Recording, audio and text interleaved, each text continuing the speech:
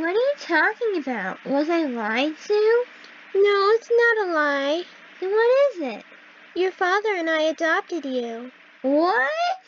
The thing is, we found you at a waterfall. Seeing what that paper says, it seems the people that are stuck in the waterfall are mad at you. Mom, where'd you go? Mom, where did you go? Wait, who are you? Are you the one causing all of this? You are correct. Then can you tell me what's going on? You will forever live the same day until you take back what you lost. You must believe. What? Believe what? Now it is time for you to wake up. Again. Wait! Huh? How did I get in my bed? What in the world? I'm white!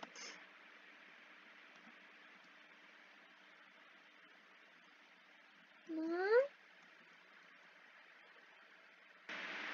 Luna? You're that fairy. Yes, I am the fairy that keeps magic seals. Have you brought me here because you want to be the waterfall princess again? No, I didn't bring you here. Then who did? I did. Who is that? It's you again. I would like to ask you a favor from you, princess. Why would I do something for you after you turned people white? You turned my mom like that, didn't you? Your mother is gone. What? What are you talking about? My mom is gone? The water is sucking everyone inside the waterfall. You see, I was put in charge of doing this task of turning people black and white. I'm very sorry, Princess. Please forgive me.